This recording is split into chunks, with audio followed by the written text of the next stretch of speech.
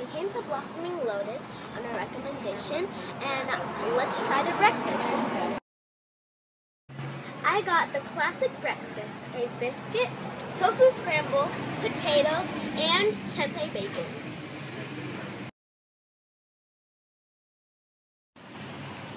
The biscuit is super duper good, and then the strawberry makes it a little bit sweet, so it's super duper good.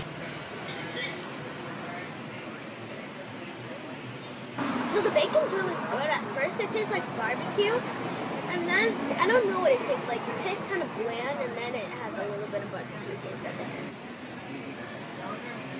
Cool. Uh, the tofu scramble tastes super good. It has a really good texture to it, and it has a little bit of spice, but it's not too spicy. So we're done with breakfast. We're just gonna do a little bit of walking around and last minute shopping. So let's go.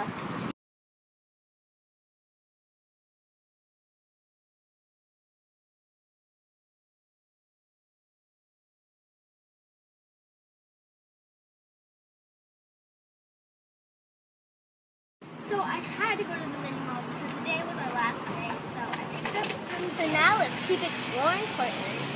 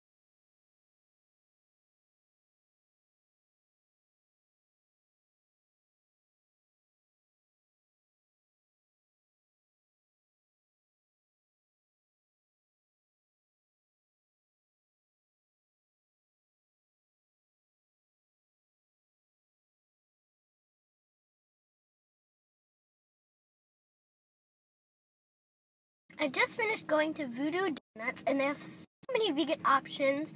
So I picked an Oreo donut and chocolate chocolate. I went to the Saturday market and I got some souvenirs. Tried chocolate first. Mmm, so chocolatey. Sadly, we it's our last day, so let's head to the airport.